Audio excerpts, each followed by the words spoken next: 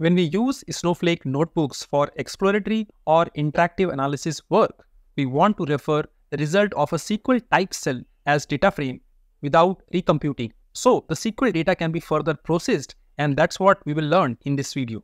We will explore whether Snowflake Notebook supports converting SQL cell result into a pandas data frame or Snowpark data frames along with other limitations. So stay tuned until the end of this video to learn everything about Snowflake Notebook reference cell feature. We have already covered the basic notebook feature in detail in the first chapter. If you have watched all the videos in this playlist, be sure to check out this link after finishing this tutorial. Before we proceed, a quick note. All the hands-on exercise are done using Snowflake's free trial version hosted on AWS with the Enterprise Edition. I recommend watching this video in 4K resolution and if you are a fast learner, consider speeding up the video to 1.25x or 1.5x. If you want to take your Snowflake learning to the next level, check out my Udemy courses. Feel free to contact me on Instagram. And yes, if you would like to stay updated on Snowflake's new and popular features, end-to-end data engineering projects, architectural concepts, live demo videos, don't forget to subscribe to my channel, Data Engineering Simplified. So, let's jump to our Snowsight web UI to start our learning journey. So here, I'm in my Snowsight web UI and this is my projects menu followed by notebooks submenu. Now let's click on this plus icon to create a notebook. So I have given a name to the notebook. This is my database and this is my schema and this notebook is going to use compute virtual warehouse. So it has created three sample cells. Let me quickly delete and also change the parameter what we have learned in our first video to save the cost. So let's close the sidebar. So idle timeout set to 15 minutes. It is done.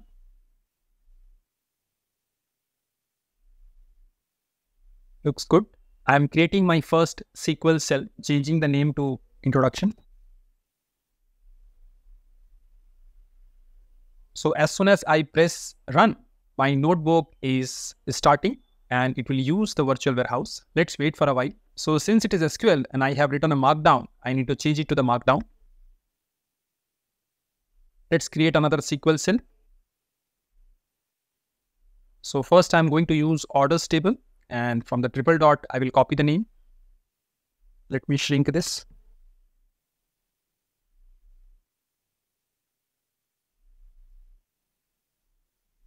So if you see, I have order priority and I would like to run a group by clause with this order priority.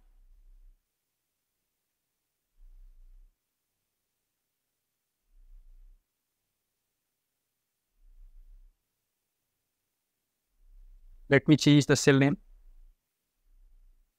So whenever a cell is edited and it is either SQL or Python, it means that the cell is modified but not yet executed. Once I execute, it will change the color to green if it gets executed successfully. And if it doesn't get, then it will change to red. Let's try that out. So if you see, this got changed to green, it means the cell executed successfully and this is a SQL type. And if I click on here, I can see it has used compute virtual warehouse and this is my query ID and I can go and check the query profile. If I have to convert this SQL result into a pandas, let's see how I can do that. For that, I'm going to create another Python cell and choose a name. So the moment I start typing this word order, it has brought this order priority data as a variable. And if you see this extension, it says this is a built-in Snowflake SQL cell result. Okay, very interesting thing. So I can really select this and then say to pandas.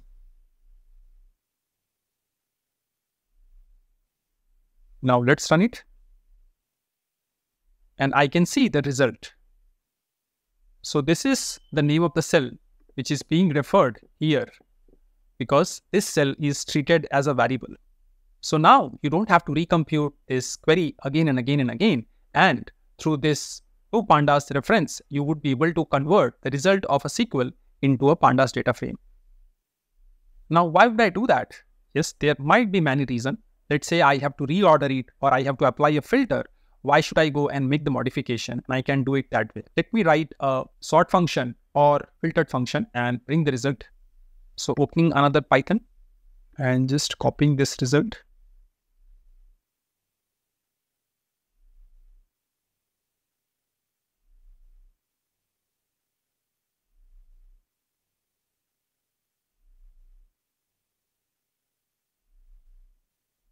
Now let's run it.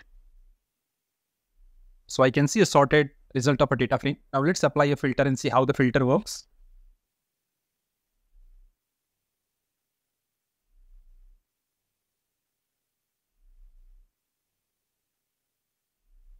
So I am trying to narrow down my result and only interested in urgent orders and high orders. And let's see how the result comes.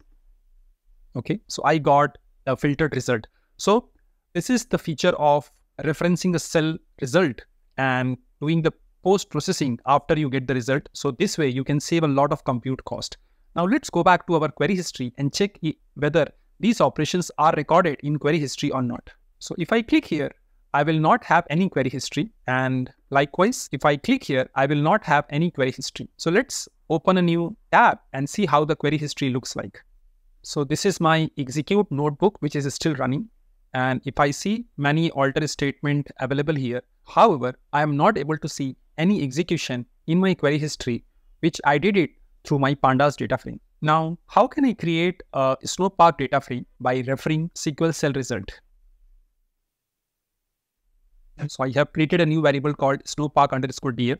And again, I can refer order priority data cell as this. And if I hover this, it is primarily my Snowflake's SQL cell result. And then I can set to df. It will automatically give me uh, the data frame like this. If I have to perform the same operation, I have to use a different API to get the result. Let me show you. So first, let's change the name and let's run it. So I got the same result. And if I see I do not have a query history, let me refresh my query history screen. And it looks like Snowflake internally using result scan to fetch the result to the Python cell. Now let's apply the filter.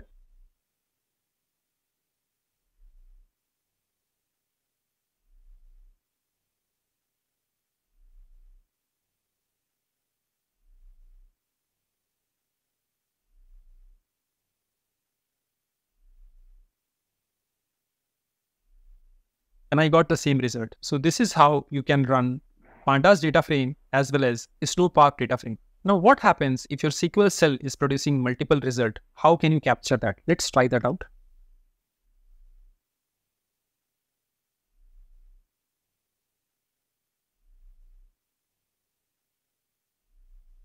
So instead of order priority, I will take order status, which is another column here and let's run it. So even though I have two SQL, okay, I got the result only from the last SQL. Now, if I want to refer this as a pandas data frame or snowpark data frame, which one it will refer? Let's try that out. So it is a multiple result. So if I say M, so it says multiple result dot to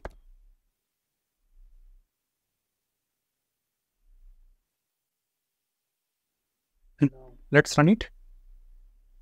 So even though I have two queries, this primarily referred the result which is displayed here. Make sure even if you have a multiple outcome in a single cell, only the last outcome will be captured as data frame in your Python cell. Now let's try another scenario. What if I have a data frame available in my Python cell? Can I refer the result of that cell in another Python cell? So this is my Python cell of type Python and I'm creating a pandas data frame. Let's see the result. So this is employee department data and my DF is already available. Now let's create another Python cell and here, if you refer to this Python cell, it is saying Snowflake Python cell result. And this is the name of the Python cell and here I can refer it. Okay, so let's try that out.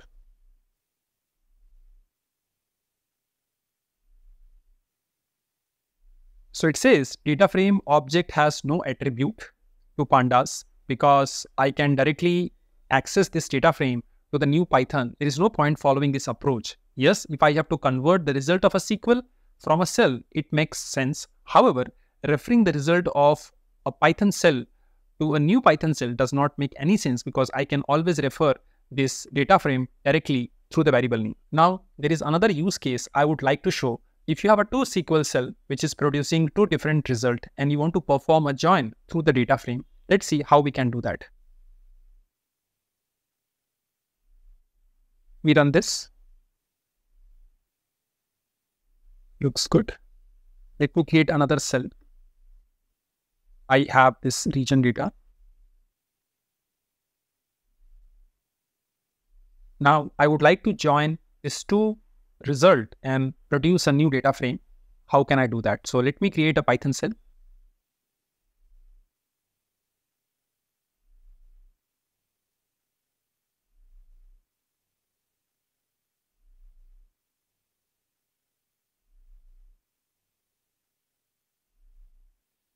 So I am performing the merge operation and I am merging these two based on this region key. Let's run it. Okay, so I fixed it. So my result is available. Now I would like to see if this query is recorded in our query history screen or not. Let's go and check. So I can only see result scan. However, I do not see any join operation. If I click on this result and let's see what this result is. So every time I access a data frame through cell reference, I think it runs a result scan. And so this is how you can use the cell reference and create pandas data frame or snowpark data frame. And without recomputing, you can use Snowflake's result scan feature, save a lot of time. However, it may save a cost or not, depends on which virtual warehouse you are using.